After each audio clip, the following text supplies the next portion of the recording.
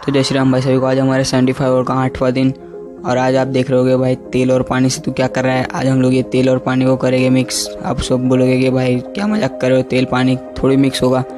आ जाओ मैं आपको करके दिखाता हूँ इस पहले थोड़ा सा निकाल लो एक कस्टर्ड ऑयल है, जिसकी डेंसिटी बहुत ज़्यादा होती है। ये देखो मैंने इसके अंदर, पानी के अंदर डाल दिया इसको। ये ऊपर ऊपर जो आपको दिख रहा है, वो कस्टर्ड ऑयल है, जिसकी डेंसिटी ज़्यादा है, और अब उनको इसको करेंगे मिक्स पूरे दम लगेगा भाई मिक्स कर दो। पर नहीं हुआ ये, आखिर में मिक्स तो होगा ही नहीं पानी के अंदर, क्योंकि डेंसिटी बहुत ज़्यादा है जिसकी और अब इसको मिक्स से करेंगे, इसके अंदर डाल दो इस कोई सा भी सोप कैसा भी सोप हो आपके पास, जो भी पड़ा इसके अंदर डाल दो। और ये इसको अच्छे से गुला लो भाई सोप को, पूरा अच्छे से मिक्स कर दो।